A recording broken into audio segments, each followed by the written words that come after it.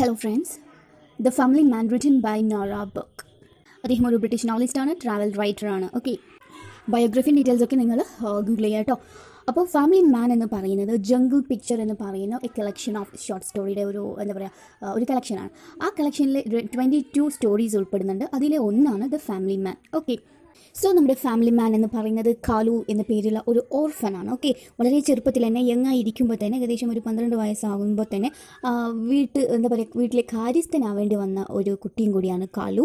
അവരുടെ പാരൻസ് മരിച്ചിട്ടുണ്ട്. അവർക്ക് നാല് സിബ്ലിങ്സും കൂടെ ഉണ്ട്. ഓക്കെ സോ അതുകൊണ്ട് തന്നെ അദ്ദേഹമാണ് ആ കുട്ടിയാണ് ടേക്ക് കെയർ ചെയ്യേണ്ടത് അതിനെ ആ വീട്ടിലുള്ളവരിനൊക്കെ ഓക്കെ ഒരു ബ്രേവ് ബോയ് ആയിട്ടാണ് ഈ ഒരു സ്റ്റോറി നറേറ്റ് ചെയ്യുന്നത്. ഓക്കെ അപ്പോൾ അങ്ങനെ ഒരു നറേഷനാണ് നമ്മുടെ കാലുവിന് കൊടുക്കുന്നതും.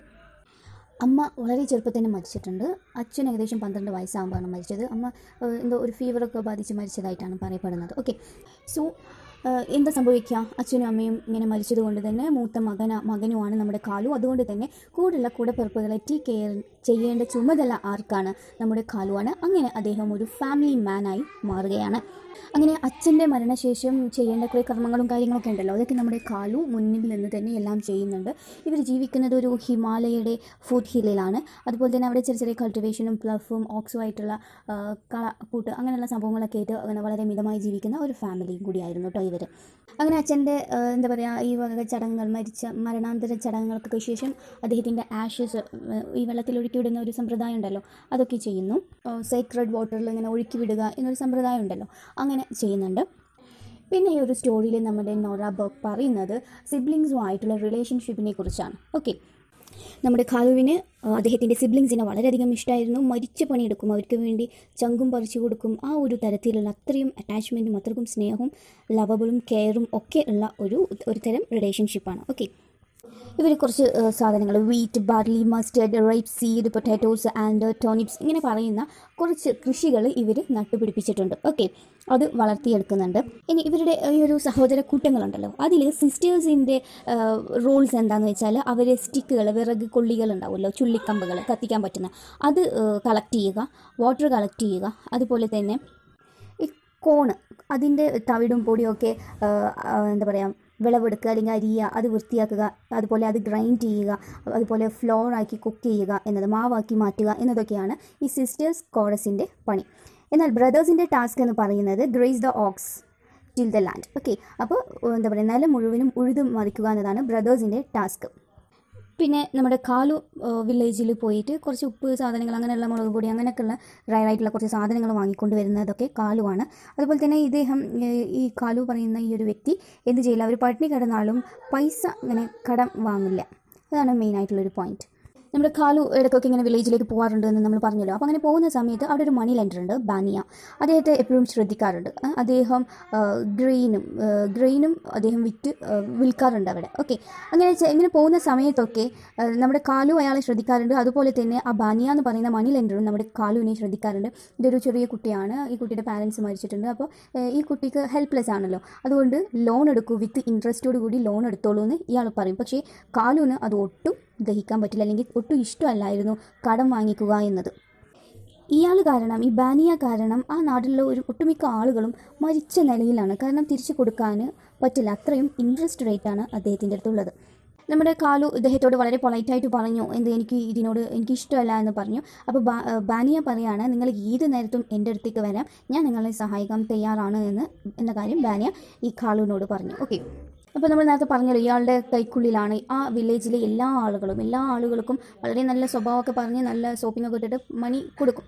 ഓക്കെ ഇത് ലെൻഡറായിട്ടാണ് കൊടുക്കുന്നത്. അതുകൊണ്ട് തന്നെ എല്ലാവരും ഡെപ്റ്റാണ് ഇയാളുടെ അണ്ടറിലേക്ക് കൊണ്ടുവരിക എന്നതാണ് ഇയാളുടെ ലക്ഷ്യം. ഓക്കെ ഇവർ മറ്റ് ജന്തുക്കളിൽ നിന്നും പക്ഷികൾ കുരങ്ങ് അങ്ങനെയുള്ള സംഭവങ്ങളിൽ നിന്നൊക്കെ അവരുടെ കൃഷി സംരക്ഷിക്കാൻ വേണ്ടി അവരുടെ വീടിന്റെ ടെറസിന്റെ ഭാഗത്ത് തന്നെ ചില കൃഷികൾ നടത്തുന്നുണ്ട്. ഇവർ ഒട്ടും പാവപ്പെട്ടവരായിട്ടല്ല ഇവരെ കാണുന്നത്. മാസത്തിൽ ഒരിക്കലെങ്കിലും എന്താ പറയുക മീറ്റ് നോൺ വെജ് ഐറ്റം കഴിക്കാൻ മാത്രം മാത്രം പ്രാപ്തിയുള്ളവരായിട്ടാണ് ഇവർ ജീവിച്ചു പോന്നിരുന്നത്. ഓക്കെ അപ്പോൾ ആ ഒരു കണ്ടീഷനും കൂടി നമ്മുടെ റൈറ്റർ ആയിട്ടുള്ള നോറ ബർഗ് പറയുന്നുണ്ട്. ഇവർ ഇത് മീറ്റ് മാത്രമല്ല ചില്ലി സ്പൈസസ് അതുപോലെ തന്നെ ഓയിൽ റൈസ് അങ്ങനെയുള്ള സംഭവങ്ങളൊക്കെ തന്നെ കഴിക്കാൻ പ്രാപ്തി അതുപോലെ തന്നെ ഇവർ ചപ്പാത്തി കഴിക്കാൻ മാത്രം പ്രാപ്തിയുള്ളവരാണ്. ഇവർ ഫയർ തീ കത്തിച്ചിട്ട് അതിൽ സ്റ്റോൺ വെച്ച് അതിൽ ചപ്പാത്തി ചുട്ടും മറ്റു സാധനങ്ങളൊക്കെ ചുട്ടുമൊക്കെ തിന്നാൻ മാത്രം പ്രാപ്തിയുള്ളവരാണെന്നുള്ള കാര്യം കൂടിയും പറയുന്നുണ്ട്. മൊത്തത്തിൽ ഒരു നല്ല ഒരു ഫാമിലി എങ്ങനെയാണോ ജീവിക്കുന്നത് ആ തരത്തിൽ തന്നെയായിരുന്നു ഇവരുടെ ജീവിത ജീവിത രീതികൾ. ഓക്കെ ഇവരുടെ കോസ്റ്റ്യൂംസിലാണെങ്കിലും ഇവർ കഴിക്കുന്ന ഭക്ഷണ രീതികളിലാണെങ്കിലും ഒക്കെ ഒരു റിച്ച് ഒരു റിച്ച് ടച്ച്നെസ് അതിലുണ്ടായിരുന്നു. ഭയങ്കര റിച്ച് എന്നല്ല തരക്കേടില്ലാത്ത രീതിയിൽ അവർ പോകുന്നുണ്ടായിരുന്നു. അതുപോലെ തന്നെ കാലു വളരെ ഹാർഡ് വർക്ക് ചെയ്യുന്ന ഒരു എന്താ പറയുക ഹാർഡ് വർക്ക് ചെയ്യുന്ന ഒരു വ്യക്തിയും കൂടിയാണ്. അതിൽ തന്നെ അദ്ദേഹത്തിന് ഭയങ്കര പ്രൗഡും ഉണ്ട്.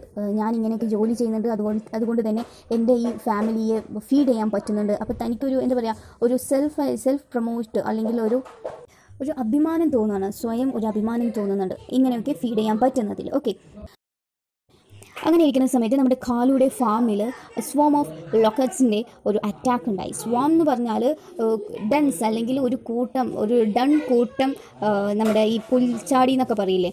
വെട്ടുകിളി ഓക്കെ ആക്ച്വലി വെട്ടുകിളിനെയാണ് നമ്മൾ ലോക്കസ്റ്റ് എന്ന് പറയാം.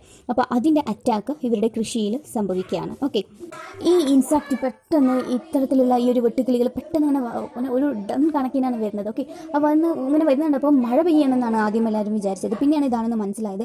ഇത് കൃഷിഭൂമിയെ ഡിസ്ട്രോയ് ചെയ്തുകൊണ്ടിരിക്കുകയാണ്. അപ്പോൾ ഇവരെന്ത് ചെയ്തു? തീ കത്തിച്ചതിന്റെ സ്മോക്ക് പരത്തി. ഓക്കെ അപ്പോൾ ചൂടും ഈ പുകയൊക്കെ കാണുമ്പോൾ അത് പോകുമല്ലോ എന്ന് കരുതിയിട്ട്. പക്ഷേ എന്താ സംഭവിച്ചതെന്ന് വെച്ചാൽ നല്ല കാറ്റുള്ളതുകൊണ്ട് ആ തീയിനൊക്കെ അല്ലെങ്കിൽ ആ പുകയിനെ ആ കാറ്റ് അണച്ചു. അവരവരുടെ കൃഷിഭൂമിയിലേക്ക് പാഞ്ഞു ഓടി. എന്നിട്ട് അവയെ ഷൗട്ട് ചെയ്യുന്നുണ്ട്. അവയെ അറ്റാക്ക് ചെയ്യാൻ ശ്രമിക്കുന്നുണ്ട്. പക്ഷേ ഇവർക്ക് ഒന്നും തന്നെ ചെയ്യാൻ പറ്റുന്നില്ല. കാരണം അത്ര കണ എന്താ പറയുക ഡൺ കണക്കിനാണ് ഈ വെട്ടുകിളികൾ ഇവരുടെ കൃഷിഭൂമി അറ്റാക്ക് ചെയ്തത്. ഇവർക്ക് നോക്കി നിൽക്കാനേ കഴിഞ്ഞുള്ളൂ എന്നൊക്കെ നമ്മൾ പറയുള്ളൂ ആ ഒരു അവസ്ഥയാണ് അവർക്ക് നോക്കി നിൽക്കാൻ മാത്രമേ കഴിഞ്ഞുള്ളൂ. അവരുടെ ക്രോപ്സ് മൊത്തത്തിൽ ഡിസ്ട്രോയ് ആവുകയാണ്. എന്ന് കുറച്ച് ദിവസങ്ങൾ കൊണ്ട് തന്നെ ഈ ലൊഹറ്റ്സ് എന്താ വെട്ടുക്കിളികൾ അവരുടെ കൃഷിഭൂമി മൊത്തം ഇലകളും അതിലുള്ള ഭക്ഷണ സാധനം മൊത്തം അവർ തിന്ന് തീർക്കുകയും നശിപ്പിക്കുകയും ചെയ്തു. ഓക്കെ അതുകൊണ്ട് തന്നെ ഇവർക്ക് ഇവരുടെ സ്റ്റോക്ക് ഇവർക്ക് കഴിക്കാനുള്ള ഭക്ഷണം വളരെ ചുരുക്കം അല്ലെങ്കിൽ വളരെ കുറച്ച് മാത്രമേ ഉണ്ടായിരുന്നുള്ളൂ. ആ സമയത്ത് ഇവർ എന്താ ചെയ്തതെന്ന് വെച്ചാൽ ഈ വെട്ടുക്കിളികളിനെയൊക്കെ പിടിച്ചു വെച്ചു ഓക്കെ എന്നിട്ട് അതിനെ ഫ്രൈ ചെയ്ത് സൂക്ഷിച്ചു വെച്ചു. പിന്നീട് അവർക്ക് ആവശ്യമുള്ള സമയത്ത് അതെടുത്ത് കഴിക്കാമല്ലോ. അപ്പോൾ അവർ ചെയ്തത് ആ ഒരു ട്രിക്കും കൂടിയാണ്. ഇവർക്ക് കുറച്ച് മാത്രമായിരുന്നു ഗ്രെയിൻസും ഫ്ലവേഴ്സും ഒക്കെ ഉണ്ടായിരുന്നു ഓക്കെ അരിയും പൊടിയൊക്കെ കുറച്ച് ഉണ്ടായിരുന്നു അപ്പോൾ അവരുടെ ഭക്ഷണം ക്രമീകരിക്കാനും ഇവർ വളരെയധികം ശ്രദ്ധ പുലർത്തിയിരുന്നു. ഓക്കെ അപ്പോൾ ഇങ്ങനെ ആയപ്പോൾ ഇവർക്ക് വിശക്കാൻ തുടങ്ങി. ഓക്കെ ഇവർ നന്നായി കഴിച്ചിരുന്നവരാണ്. അപ്പോൾ പെട്ടെന്ന് ഇങ്ങനെ സംഭവിച്ചപ്പോൾ ഇവരുടെ ഭക്ഷണം കുറച്ചല്ലോ. അപ്പോൾ ഇവർക്ക് വിശക്കാൻ തുടങ്ങി. പിന്നെ ഇവരുടെ ഡ്രീം നന്നായി ഭക്ഷണം കഴിക്കാൻ പറ്റണം എന്ന ഒരു രീതിയിലായി. ആ കുട്ടികൾ ഡ്രീം ചെയ്യുന്നത് എന്താണെന്ന് വെച്ചാൽ ഹോട്ട് ചപ്പാത്തീസ് അതുപോലെ തന്നെ bowl of steaming rice okay ചോറും അതുപോലെ ചപ്പാത്തി ചൂടുള്ള ചപ്പാത്തി കഴിക്കണം എന്നൊക്കെയാണ് അവരുടെ സ്വപ്നം. പക്ഷേ അവർ ശ്രമിക്കുന്നുണ്ട് പക്ഷേ ഒന്നിനും പറ്റുന്നില്ല എന്നതാണ് സത്യം. അവർക്ക് സ്പൈസസ് പാൽ അങ്ങനെയുള്ള സംഭവങ്ങളൊക്കെ കഴിക്കണം എന്ന് ആഗ്രഹമുണ്ട് പക്ഷെ ഒന്നിനും പറ്റാത്ത അവസ്ഥയായി. അങ്ങനെ പതിയെ പതിയെ ഇവർ ഇതിൽ അഡ്ജസ്റ്റഡ് ആവാൻ തുടങ്ങി. പിന്നെ അവർക്ക് അങ്ങനെ ഒരു വിശപ്പുള്ളതായിട്ട് അവർക്ക് ഫീൽ ചെയ്യുന്നില്ല. ഈ പുതിയ കണ്ടീഷൻ ഈ ഒരു പുതിയ സ്റ്റേറ്റിൽ അവരങ്ങോട്ട് അഡ്ജസ്റ്റഡ് ആയി മാറുകയാണ്. പക്ഷേ കുട്ടികൾക്ക് ഭയങ്കര ടയേർഡ് ആയിട്ടുള്ള ഫീലിങ്സ് ഒക്കെ ഉണ്ടാവുകയാണ്. അതുപോലെ തന്നെ ഇവർ സ്റ്റോർ ചെയ്ത് വെച്ചിരുന്ന ഭക്ഷണ സാധനങ്ങൾ ഫിനിഷ് ആവുകയാണ്. ഓക്കെ അങ്ങനെ നമ്മുടെ കാലു ബാനിയുടെ കയ്യിൽ നിന്നും ഒരു പത്ത് രൂപ കടം വാങ്ങാൻ നിർബന്ധിതനാവുകയാണ്. ഓക്കെ അങ്ങനെ മണി ലെൻഡർ ഒരു വർഷത്തിൽ അഞ്ച് രൂപ ഇൻട്രസ്റ്റ് വെച്ചിട്ട് അയാൾ പത്ത് രൂപ കടം കൊടുക്കുന്നു. അങ്ങനെ നമ്മുടെ ധോത്തിന്റെ ഉള്ളിൽ ഈ കാലു ഈ കിട്ടിയ പൈസ ട്വിസ്റ്റ് ചെയ്ത് മടക്കി വെച്ചു. എന്നിട്ട് കുറച്ച് കുറച്ച് സാധനങ്ങൾ മാത്രം വില്ലേജ് ഷോപ്പുകളിൽ നിന്നും ബജാറിൽ നിന്നും വാങ്ങുകയും ചെയ്തു. ഓക്കെ എന്നിട്ട് മുന്നത്തേക്കാളും കൂടുതൽ ഹാർഡ് വർക്ക് നമ്മുടെ കാലും കാളുടെ സിബ്ലിങ്സും കൂടിയും ചെയ്തു. അങ്ങനെ ഇവർ കുറച്ച് ഒരു കുറച്ച് മെച്ചപ്പെട്ട ഭക്ഷണം കഴിക്കാൻ ഇവർ അങ്ങനെ ഇരിക്കെ ഒരു ദിവസം ഇവരുടെ എന്താ പറയുക കൃഷിഭൂമിയിൽ ഒരു ടൈഗറിന്റെ ഫുട് ഇവരുടെ കൂട്ടത്തിലുള്ള ഒരു യങ്ങർ ബോയ് കാണാനിടയാവാണ്. ഓക്കെ അപ്പോൾ ഇവർ ചിന്തിക്കുകയാണ് എന്തിനായിരിക്കും ഈ ഒരു വൈൽഡ് ആനിമൽ ഇവിടേക്ക് വന്നത് എന്നത്. ഇവിടെ നമ്മുടെ നോറ ബർഗ് എന്താണ് നമ്മളോട് കൺവേ ചെയ്യുന്നത്? ഏത് സിറ്റുവേഷനിലും ഇവർ ബോൾഡായി തന്നെ നിൽക്കുന്നു എന്നതും കൂടിയാണ് ഈ ഒരു സ്റ്റോറിയിലൂടെ കാണിക്കുന്നത്. ഓക്കെ അപ്പോൾ നമ്മുടെ കാലു നോക്കി. അവിടെയൊക്കെ നോക്കിയപ്പം ഒരു വൈൽഡ് പിഗിനെ വേട്ടയാടിയിട്ടുണ്ട്. ആ ടൈഗർ വേട്ടയാടി തിന്ന് ബാക്കിയാക്കി പോയിട്ടുണ്ട്. ഓക്കെ അപ്പോൾ നമ്മുടെ കാലു എന്ത് ചെയ്തെന്ന് വെച്ചാൽ അതിന്റെ ഷോൾഡർ അദ്ദേഹത്തിന്റെ ആ കുട്ടിയുടെ കയ്യിലുള്ള കത്തി ഉപയോഗിച്ച് അതിന്റെ ഷോൾഡർ വരെ കട്ട് ചെയ്തു. ഓക്കെ എന്നിട്ട് ആ ഭാഗം വീട്ടിലേക്ക് കൊണ്ടുപോയി. അന്ന് രാത്രി അവരുടെ സപ്പർ ഒരു എന്തായിരുന്നു? പോർക്കായിരുന്നു എന്ന് വെച്ചാൽ നോൺ വെജ് അവർക്ക് കഴിക്കാൻ പറ്റി എന്നതാണ്. അപ്പോൾ ഏത് സിറ്റുവേഷനിലാണെങ്കിലും അവർ ആ സിറ്റുവേഷൻ അനുസരിച്ചിട്ട് ജീവിക്കാൻ പ്രാപ്തരാവുന്ന എന്ന ഒരു രീതിയാണ് ഇതിൽ കാണിക്കുന്നത്. ഓക്കെ പിന്നീട് നമ്മുടെ കാലു ബാനിയിൽ നിന്നും ഒരിക്കൽ കൂടി കടം വാങ്ങിക്കുകയാണ്. അതിന്റെ ഇൻട്രസ്റ്റ് റെഗുലറായിട്ട് മുടങ്ങാതെ തന്നെ അടയ്ക്കുന്നുണ്ട്. അവസാനം അദ്ദേഹം ആ ഇൻട്രസ്റ്റിന്റെ ഒപ്പം തന്നെ ഒക്കെ സെറ്റിൽ ചെയ്തു. അപ്പോഴും വളരെ ആശ്വാസവും ഭയങ്കര പ്രൗഡും തോന്നുകയാണ് ഈ ലൈഫ് ഇങ്ങനെയൊക്കെ സെറ്റ് ചെയ്തതിൽ പക്ഷേ നമ്മുടെ ബാനിയൊക്കെ വളരെയധികം ഡിസപ്പോയിന്റഡ് ആണ് ഉണ്ടായത്. എന്താണെന്ന് വെച്ചാൽ അദ്ദേഹത്തിന്റെ ലക്ഷ്യം എന്താണെന്ന് വെച്ചാൽ ഈ പൈസ ഇവർക്ക് അടക്കാൻ പറ്റാതെ അവന്റെ ഭൂമി കയ്യേറാമെന്നായിരുന്നു നമ്മുടെ മണി ലെൻഡർ വിചാരിച്ചത്. പക്ഷേ അത് നടന്നില്ല. അവൻ ഹാർഡ് വർക്ക് ചെയ്തു എന്ത് ചെയ്തു? വാങ്ങിയ പൈസയും അതിന്റെ ഇൻട്രസ്റ്റും ഒക്കെ കൊടുത്ത് സെറ്റിൽ ചെയ്തു. നമ്മുടെ മണി ലെൻഡറിനെ അതിശയിപ്പിച്ചുകൊണ്ട് ഇങ്ങനെയൊക്കെ സെറ്റിൽ ചെയ്തല്ലോ. അപ്പോൾ ഇവിടെ നമ്മുടെ ബർക്ക് നോറ ബർക്ക് റൈറ്റർ എന്താണ് പോർട്രേ ചെയ്യുന്നത്?